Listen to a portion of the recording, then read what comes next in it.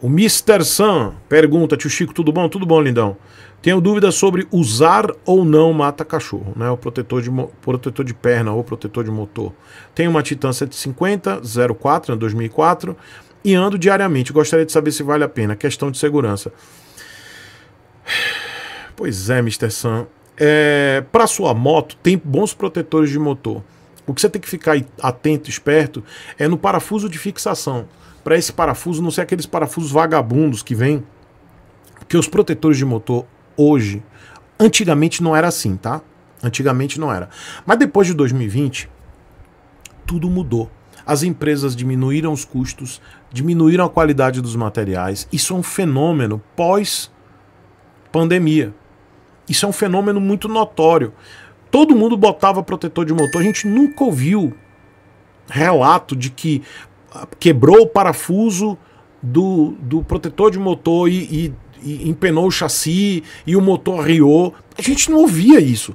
Às vezes isso acontecia porque o mecânico não tinha colocado o trava-rosca, né? Alguma coisa do tipo. Hoje não. Hoje nós temos relatos de empresas que fabricam protetores de motores para motos pequenas e grandes, que o parafuso parte, o parafuso dá pau. Por quê? Porque diminuiu a qualidade, a qualidade do material. E é por isso que eu tenho evitado indicar. Mas no caso da, da Titan, tente escolher uma marca boa. Eu não vou indicar marca aqui, tá?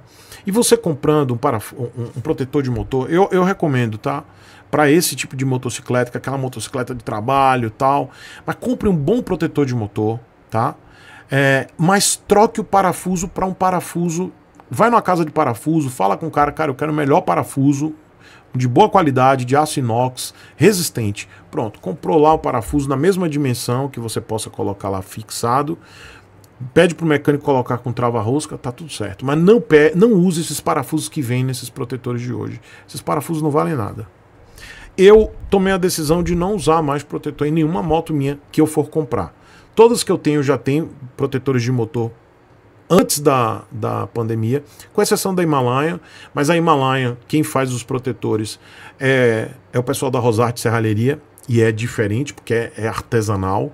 Então o Marcelo Raposo é uma pessoa de minha total confiança. Nunca tive problemas com os produtos da Rosarte, tá? É diferente e é artesanal, não é aquela coisa é, em larga escala.